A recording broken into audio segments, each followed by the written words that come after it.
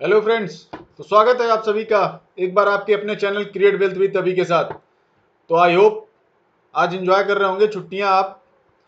लेकिन हम आप लोगों के लिए सुबह से ही थोड़ी बहुत मेहनत कर रहे हैं। और कुछ चीज़ें थी, मैं काफ़ी देख रहा हूँ कि यस बैंक के बारे में एक बार आप लोगों के रिक्वेस्ट पे हमने उसके बारे में डिटेल एनालिसिस की थी।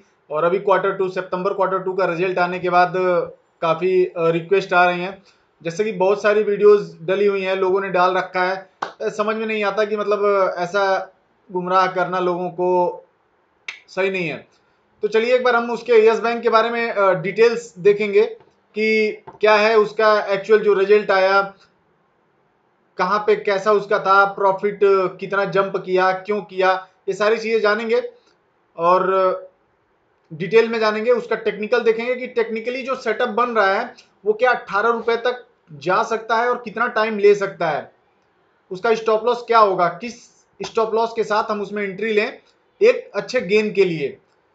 तो सब कुछ जानेंगे और इसमें हम और भी दो से तीन शेयर्स हैं, जिनकी काफ़ी उनमें डाउनफॉल आया है तो उनका भी हम चार्ट एनालिसिस देखेंगे कि उनका सपोर्ट कहाँ पे है। तो वीडियो को लास्ट तक देखिएगा, आप लोगों को बहुत कुछ सीखने को मिलेगा। तो आइए फिर स्टार्ट करते हैं। यस बैंक यस बैंक का आप देखोगे रिज़ल्ट आया, उसके बाद बेचारा ठंडा ही पड़ा रहा। तो अभी यस बैंक का आप देखोगे, यहाँ दिखा रहा है कि report 74.3 percent year on year जो ग्रोथ है नेट प्रॉफिट में 225 करोड़ का। तो अब दिक्कत क्या है कि इसको आया तो है, लेकिन आप यहाँ पे देखो ना lenders net interest income in the quarter however fell 23.4 percent on year to Rs 1512 crore का which was below analyst expectation भाई, जो मेन बैंकों का कहाँ से अर्निंग होती है? इंटरेस्ट से, वो यार 23.4 परसेंट डाउन है।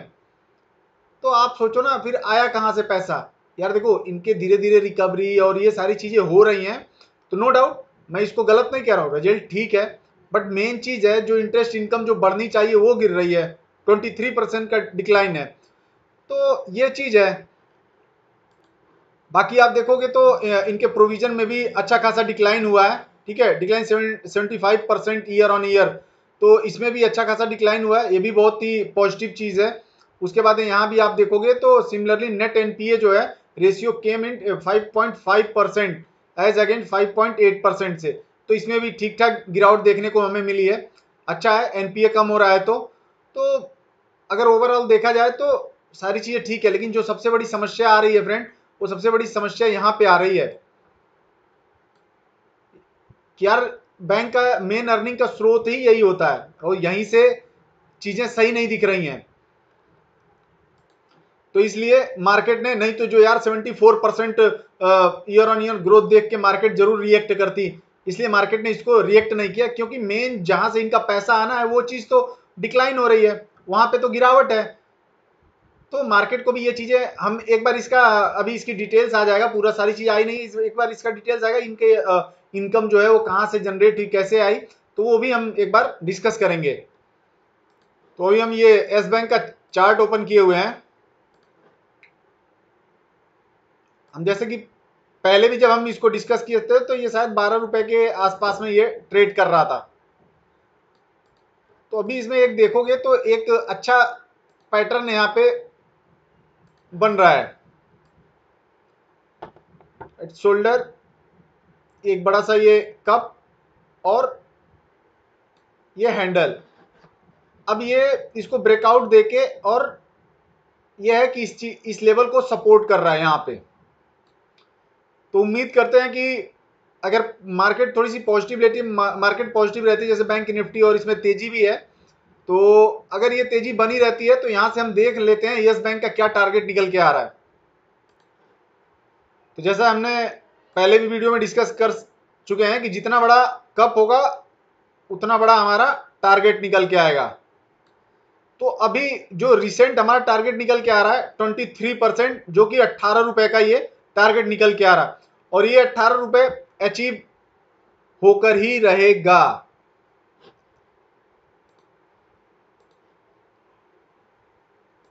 क्योंकि इसमें रिटेलर बहुत ही अच्छा खासा कूदे हुए हैं और रिटेलर ऐसे शेयरों को माय गॉड कहाँ पहुँचा रहे हैं? हमने कई ऐसे शेयरों में हम देख चुके हैं। उसके बाद अगर ये इसको सक्सेसफुली होल्ड करता है ब्रेक कर लेता है, ये अट्ठारह रुपए का लेवल सस्टेन करता है तो फिर जो इसका नेक्स्ट टारगेट होगा ट्वेंटी वन का होगा ट्वेंटी ट्वेंटी वन का। तो अभी यहाँ से जो रिसेंट जो टारगेट निकल के आ रहा है, वो twenty three percent twenty four percent का निकल के आ रहा है। लेकिन मैं इसमें इसलिए नहीं श्योर हूँ कि ये टारगेट हमें एक से तीन महीने में आ सकता है।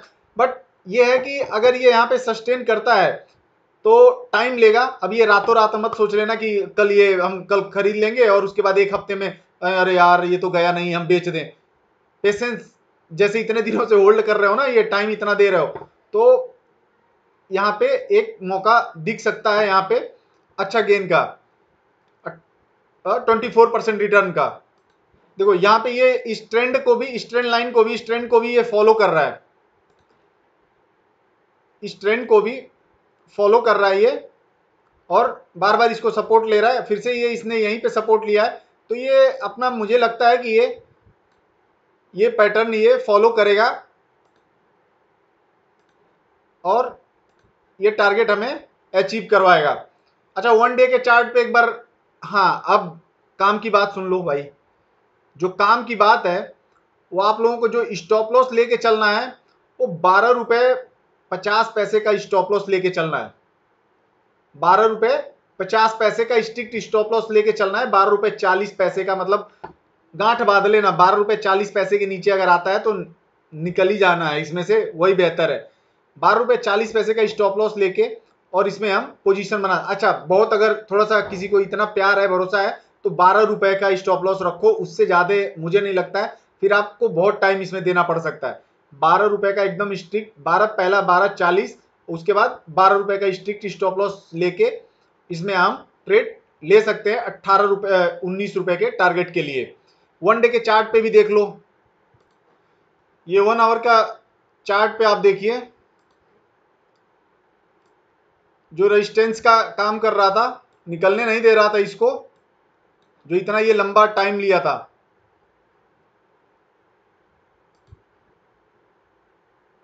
इसमें आपको एक, जो मैं काफ़ी वीडियो में डिस्कस करता हूँ, यहाँ पे आपने एक सार फॉल देखा था। यहाँ पे प्राइस एक्शन कितना बढ़िया काम कर रहा है।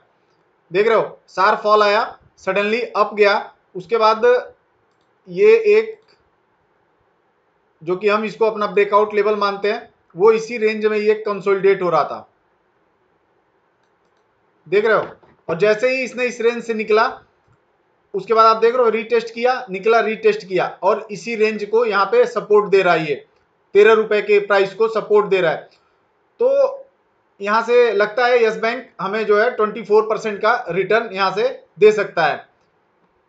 तो बाकी आप लोग अपना खुद का एनालिसिस करिए और देखिए। और रिज़ल्ट ठीक ठाक है बहुत ही बेटर नहीं कहेंगे। तो ऐसी न्यूज़ों पे मत जाइए ऐसे अफवाहों पे और अपने सारे पैसे यहाँ मत डाल दीजिए कि सौ रुपये पहुँच जाएगा। ऐसा कुछ होने वाला नहीं है। तो फ्रेंड्स प्लीज़ ध्यान से देखिएगा इसको और आइए एक बार आ, कुछ शेयर्स हैं उसके बारे में फटाफट चार्ट देख लेते हैं। ये भंगरिया इंडस्ट्री का चार्ट हमने ओपन किया हुआ है। अभी ये जो होल्ड कर रहा है दो सौ पचहत्तर पे है। तो आप देखोगे एक अच्छा ब्रेकआउट यहाँ से दिया था इसने और जो बार बार रेजिस्टेंस का काम कर रहा था, यहाँ से इसने ब्रेकआउट देने के बाद, यहाँ पे एक अच्छा पैटर्न भी बना था। ये देख रहे हो? आप ये देखोगे तो एक अच्छा पैटर्न बना हुआ था। ये कप एंड हैंडल बना हुआ था। तो जैसा कि हम कहते हैं कि जितना बड़ा कप उतना बड़ा टारगेट ये लगभग अपने टारगेट को अचीव किया था ट्वेंटी परसेंट देख रहे हो आप? टारगेट को उसने अचीव किया था। बना दो यार आप लोगों को। थोड़ा ठीक है। तो इसने अपने टारगेट को अचीव किया था, फिर से इसने रीटेस्ट किया। और मुझे फिर से ये बहुत ही अच्छे से इतनी मार्केट में वीकनेस होने के बाद भी इतनी गिरावट होने बहुत ही अच्छे से सस्टेन कर रहा है। तो इस पर नज़र बना के रखिए। और इसमें एक अच्छी अपॉर्चुनिटी हमें देखने को मिल सकती है। जैसे ही हम ट्रेड लेंगे, हम इस ज़रूर टेलीग्राम पे अपडेट करेंगे। क्योंकि यहाँ से जैसे ही रिवल्सर मारेगा फटाफट इसमें एंट्री लेनी है और बहुत ही शॉर्ट टर्म में यहाँ पे हमें 333 का लेवल 340 का लेवल फिर से जाता हुआ दिखेगा। तो यहाँ से 20 परसेंट का हमें सीधा सीधा गेन दिख रहा है। ठीक है फ्रेंड्स तो ये था। बाकी और भी जो शेयर्स हैं कल हम उस पर डिटेल एनालिसिस करेंगे। आ, कुछ शेयर्स हैं जो बहुत ही बढ़िया सेटअप है उन पर हमें नज़र रखनी होगी। तो मिलते हैं ब्रेक के बाद। जय हिंद जय भारत।